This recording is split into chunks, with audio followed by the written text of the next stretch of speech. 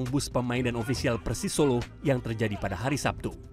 Ketujuh tersangka ditangkap di dua lokasi yang berbeda. Dua orang ditangkap tidak jauh dari lokasi penyerangan bus, sementara lima orang ditangkap di wilayah kota Tangerang.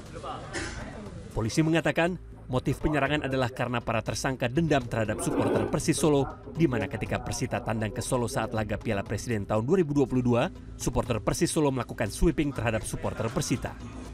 Motif dari pelemparan ini adalah terkait dengan uh, balas dendam dari uh, supporter Persita. Karena pada waktu Persita bermain tanggal ke Solo ada kegiatan yang menurut keterangan dari oknum supporter Persita tersebut ada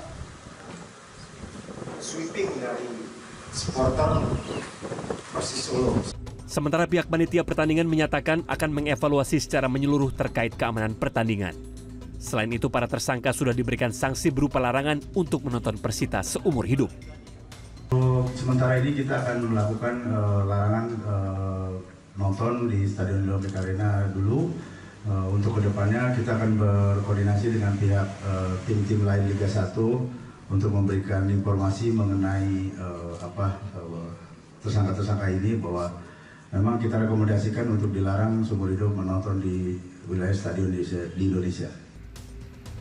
Sebelumnya Wali Kota Solo Gibran Rakabuming buka suara terkait kasus pelemparan bus klub Persis Solo usai bertandang melawan Persita Tangerang pada Sabtu malam.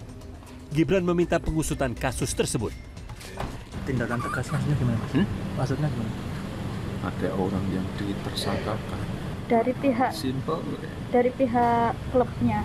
Pihak mana pun yang terlibat.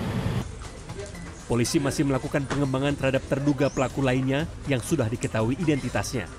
Para pelaku dijerat dengan pasal 170 KUH pidana dengan ancaman hukuman maksimal 5 tahun penjara. Tim liputan CNN Indonesia